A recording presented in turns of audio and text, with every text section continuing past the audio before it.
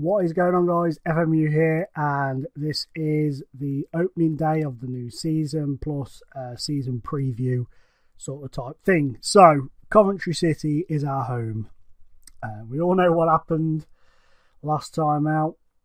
Bit of a crazy ending to that video, that is for sure. But we're here today at the Ricoh Arena, and we're going to be taking on Exeter uh, in our first League Two game at home. Uh, so we're going to have a look now at the ins and outs uh, that have gone on. And um, to be honest, there's been a lot of departures. Uh, David James actually came and went. I signed him, then he literally decided I'm going to retire at the end of this season. So, um, well, the end of uh, the month that I signed him in. So I was like, well, June, the month after. So I was like, fair enough then, mate, off you trot. So uh, I released him literally a day after he signed, which was pretty funny, to be fair. Um, then John Fleck joined Birmingham City for 725k. A couple of loan players went out. Uh, Danny Swanson, Jim O'Brien, Reda Johnson's contracts expired at the end of the season. So I said to them, Would you like to go now? Because they had teams interested in them. They were like, Yeah, that'll be sweet. So they all left. Um, and then, like I said, a couple more loan players have gone out. In terms of incomings, Shaquile Coulthirst, I love this guy, always have done. One of the players I always do try to pick up on this game. Uh, football manager in total, he's done fantastic for me over the years. I think he'll absolutely boss this division, uh, given the chance. Uh, uh hopefully, anyway, I, have got. A, I'm very positive about him. Matty Robson's a player that knows this division. Come on, knows this division very, very well indeed. He's been at Carlisle for a lifetime. It seems like uh, 215 games, 23 goals. Before that, 135 uh, games, 13 goals for Hartlepool. Knows the lower leagues very well. He's been in this division uh, for quite a while, uh, in and around this division for quite a while, should I say. Uh, oh, no, he hasn't. On this, I'm thinking of real life. In this, he's been League One for quite some time. But um, that's not right because Carlisle weren't in League One. Oh yes, they were. This was sorry. Oh, this was before the update. Sorry, my bad.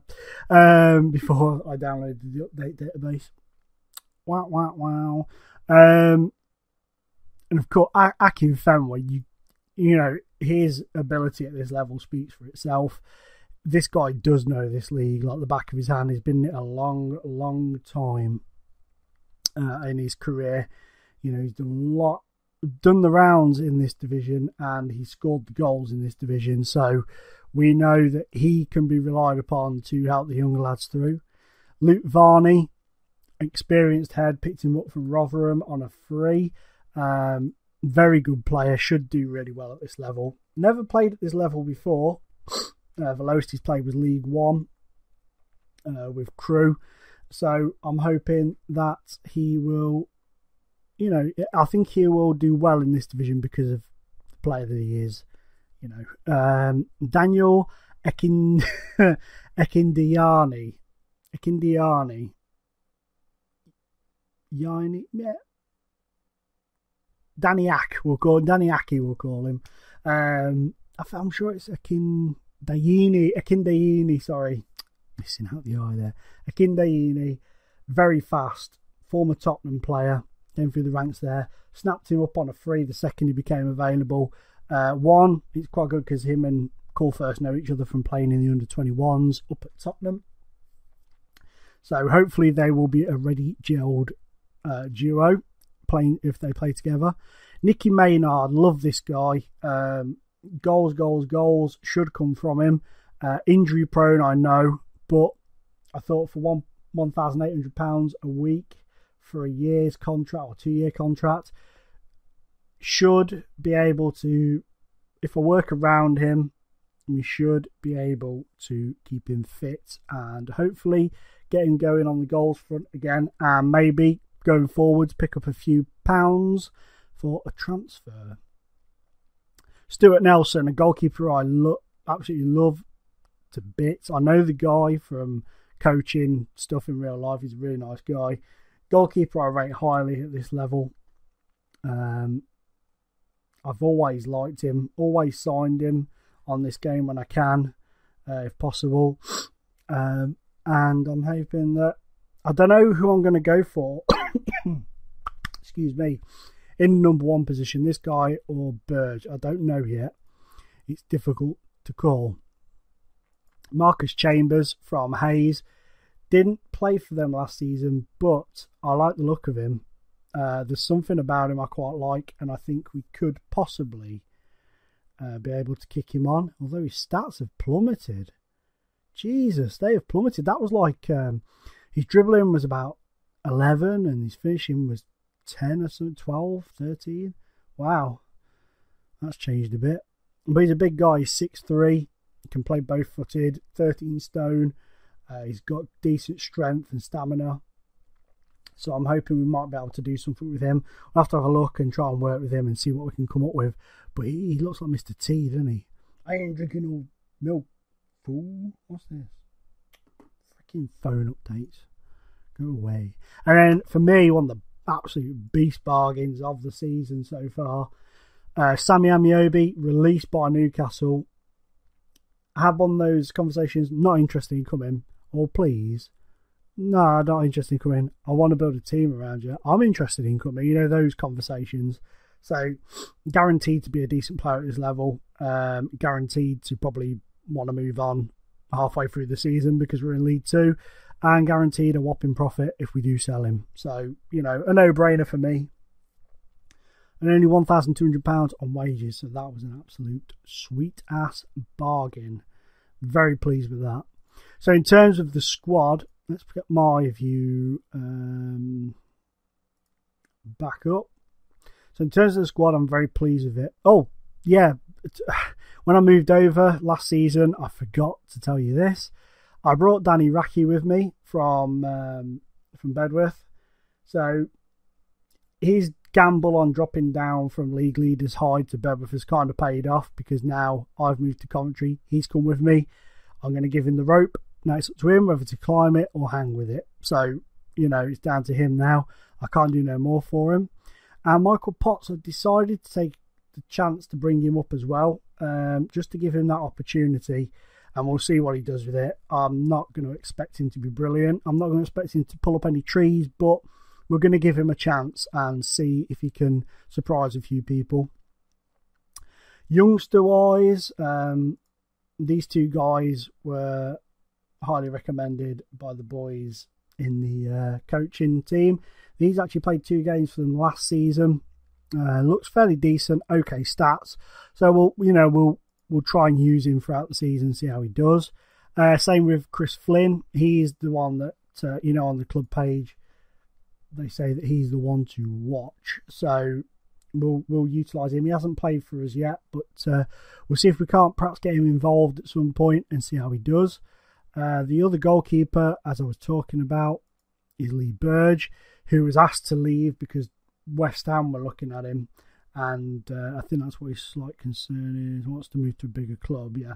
Um, I said you can go if they match your price tag, and I set it to 500k, and they lost interest. So, you know, it's up to him to make put the performances in now to really kick it on and get a lot of interest in him. Uh, blah, blah, blah, blah, blah, James Maddison in real life is a big, big player for Coventry. He's going to be one of those that moves on. I have no doubts about it and does really well for himself.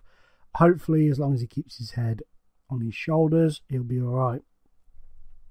And uh, this, I think, if he has a good season, good start of the season for us, we could possibly see a big coming for him. Same Conor Thomas, a few years back, went on loan to Liverpool, bit of a trial at Liverpool, never worked out for him dropped back down to Coventry, and he's been there ever since. We have the opportunity now to help him to progress and become a very good player and possibly move him on for a decent amount of Wonga. Um, this guy as well, George Thomas, um, he was on loan at Nuneaton last season and he got 10 goals. So I promoted him to the first team. I'm going to give him an opportunity at some point to show what he's capable of in the first team um, our captain is a player who I've signed in many previous incarnations of Football Manager, uh, Aaron Martin. I've decided to give him the captain's armband because he is a good player, and I do like the guy uh, on the game. He's got decent leadership skills. He's a good age, and I think he will help the younger players, but not patronise the older players. If you know what I mean, I, I get the feeling he'd do all right. And the number two is an academy product, Jack Finch, who kind of looks like the. Um, if you watch the middle, uh, Sue, the daughter with the braces, she hangs around with this uh, gay lad who does dancing, who actually isn't. I think isn't it? He he acts gay, but in that they say he's not gay, but he clearly is. I can't remember anyway. Uh, but he looks a lot like him. So there you have it. I may pop a little picture up on the screen now, just so you can have a look. Maybe he doesn't look loads like him, but to me, looks a bit like him. Anyway, I digress. We're going to see how he does, but I think he's he's going to do all right as the uh, deputy for Mr. Martin.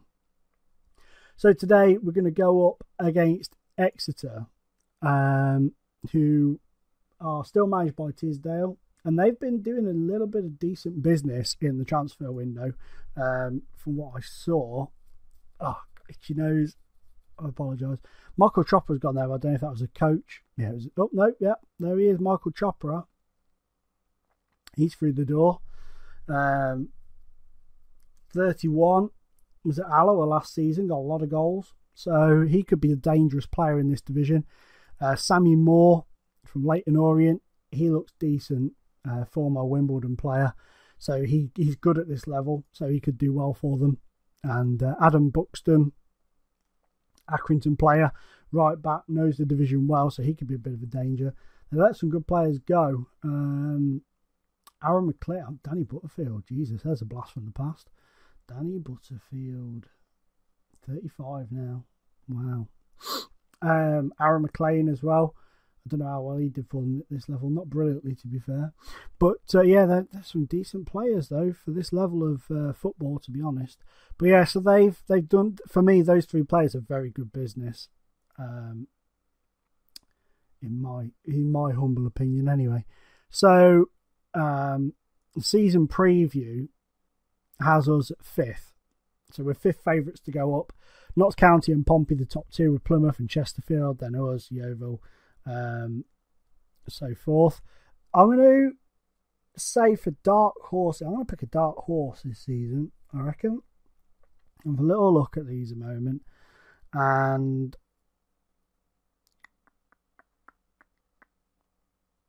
I'm going to say, I think. I think Wycombe are going to upset the apple cart a bit this season. I think they may have a better season than they're expecting. So we'll see come the end of the season if I was right or not. Wow, Pompey signed Ryan Tunnicliffe. That's a decent move. Jesus. Jesus Christ. Uh, let's have a look, see if there's any others that stand out to me. Um, don't think there is many. This guy, I saw him move to Northampton. Former Nottingham Forest guy. I think he could be a tasty player at this level. Uh, players to watch. Andy Proctor, definitely very good player at this level. Andy Proctor is. Um, Sylvian Evans Blake's down here now. Obviously, Chopper we spoke of. We've got Maynard and Ameobi, which are two of the big hitters by far at this level. That's where you see that's where it's been really good for us because of who we are. We've managed to attract good players. Antoni Sarcevic will do brilliantly at this level again, I imagine. 25 goals and 86 appearances for Fleetwood. He got relegated last season, but he scored 12 goals. So, you know, he's going to be one to keep an eye on. Um, so I'll have a look. See if there's anybody. Enda Stevens down at Portsmouth, former Villa player. Uh, Bentley, the goalkeeper, very decent. And that's about it, really. Um, I can think of that I can spot on there. But uh, yeah, I'm, I'm, I'd, I'd agree with that as Proctor being probably the one of the best players to watch in the division because he is very good at this level, very good. Winnard as well at Accrington Stanley, uh, the defender. Yeah, David Dunn, bless. He was with me at one point, if you remember very briefly. Where is Winnard? Have they sold him? No.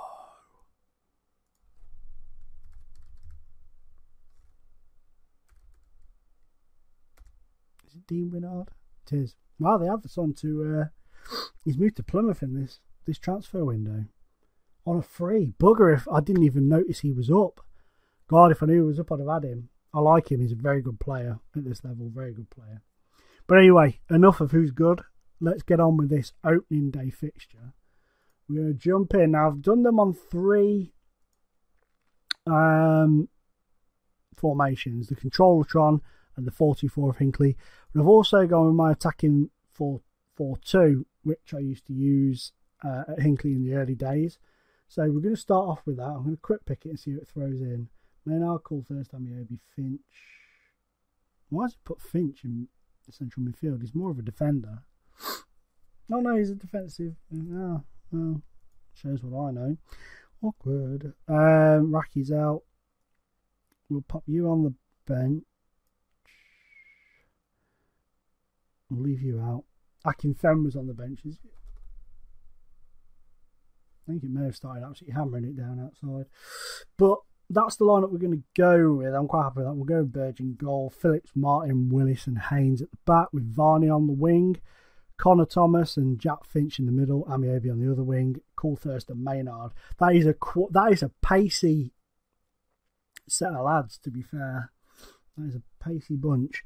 And then on the bench we've got Potts, Robson, Maddison, uh, Akindayini, Lawton, George Thomas, and Akin Fenwa, the beast. Uh, and then Marcus Chambers. I'm going to leave him out for now, and uh, we'll we'll see going forwards. And obviously, Raki is suspended, so we can't use him. I've got to give a number. Oh, Georgie boy. Let's give him number 21. I think you're worthy of a, a lower squad number. So, we've had a game. We've had uh, Yeovil beat Northampton 1 0. So Yeovil have already got off to a winning start. They're starting with Chopper up top. Oakley, they've packed the midfield. Pat Baldwin's a good player at this level. Decent defender from Colchester, man. Good player. Um, Ryan Harley, this guy he had the whole world in his hands when he moved from Exeter. Um, when he moved from Exeter to Swansea, he could have done, you know, he could have been a real player. It just never worked out for him, but he's back there now, 30 now, so it's a shame, really, because he, he looked a real player at one point in the Football League, anyway. So, let us see. Hockaday well, that was helpful. Uh, do team speech. Well, you, I, am not going to leave it in his hands very often. But away we go, guys. Uh, opening games COF manager at the Ricoh in League Two. And Nicky Maynard's offside already. 11 minutes in. 14 minutes in, nothing's happened. This is a enthralling tie to open up with. Chopper's offside now. They're going to score, aren't they? All well cleared from Varney. On, get it. Finch, Maynard, Coulthirst, out to Varney, back to Thomas. Here comes Ameobi, Finch. Oh, saved Ameobi! 1 0, 30 minutes on the clock. Fantastic breakaway move from the boys there. Fantastic stuff. And we are 1 0 up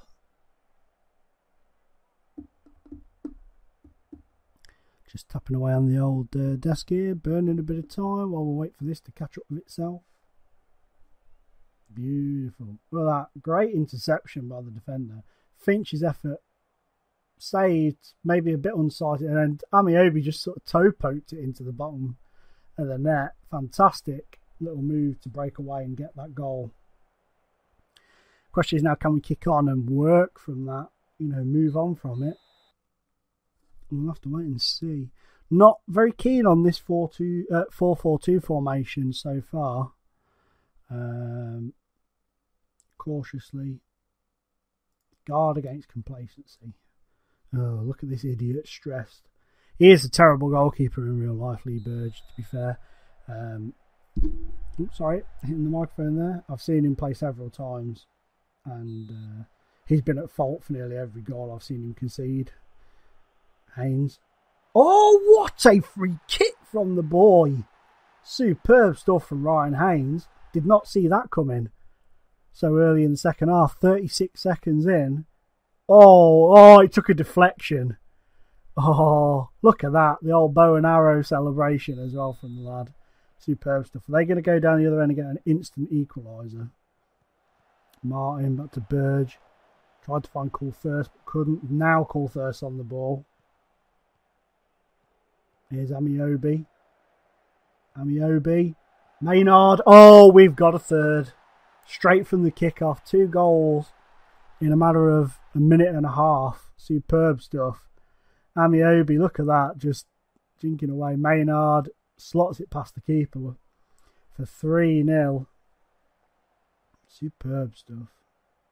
Very pleased with that. Right, let us. Probably going to be like for likes, to be fair. I can't see the point in changing things too much. Uh, although you're going to drop to the right back and Phillips is going to come off. Thought actually Finch can drop up there. Then if we pull you out, and we'll give Potts a run out today.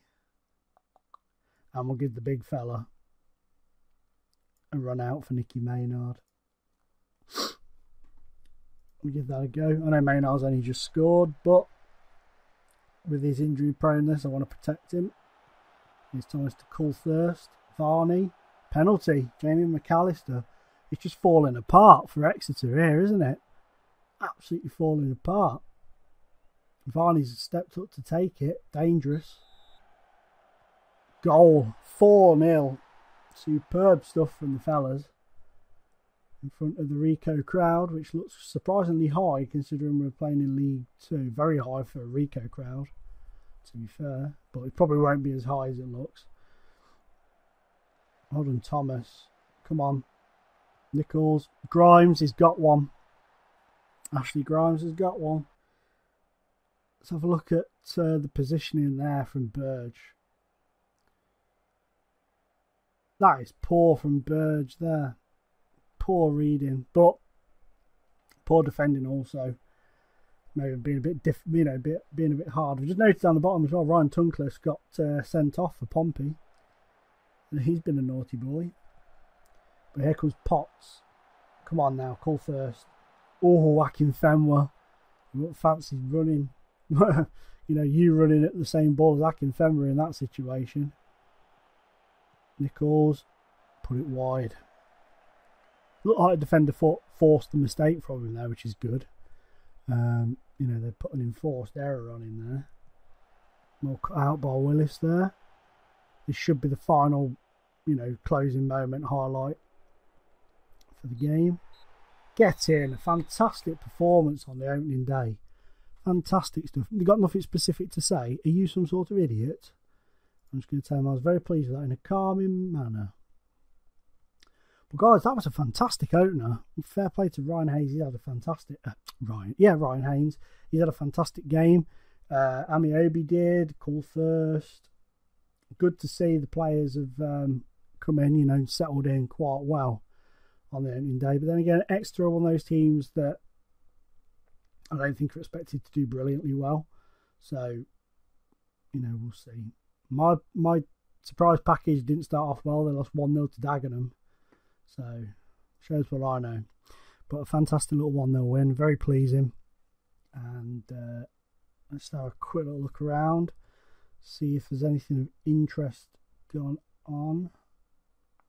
Like I say, Pompey, Notts County, the favourites, could only manage a 2 2 draw, and that come after. Oh, look at that. Pompey 2 0 up, got a player sent off, boom, boom. Well, the other player sent off following 2 0 up, but at 2 0, you'd have fancied Pompey to see it out, but that's why County the favourites. They've pulled it back to 2 2. Fair play to them for that. Tranmere, my boy Jacob Blyth. This young man here, this man Jacob Blyth, he lives not far away from me. Um, spent last season in real life alone at uh, Burton. Ta-da! Ta-da! He used to play for Bedworth and then Eaton Griff. So he's a guy I know. He's got a lot of friends in common. I'm friends with him on Facebook, to be fair. Uh, he's a good lad. So he's got a goal for Tranmere, which is good. And Max Power, the man whose name you cannot touch. He's uh, he's a player that interests me. If we had some money, I may look at bringing him in, but we haven't, so we can't. Quality of possession provides victory. Quality of possession, we only just snuck it. 8,000 turned up to that game, so that's pretty good, to be fair, for this level. Um, Ameobi made his debut. Haynes impresses, the 19 year old fullback. And that's pretty much it, guys. We've had a good opener to the season. That was his first ever goal for the club as well. So, guys, hopefully you found this video enjoyable in some sort of form. Uh, please remember to hit the like button, it really does help us all out. Uh, if you're going to comment, don't be mean, keep it clean, and I'll see you all in the next episode. Goodbye.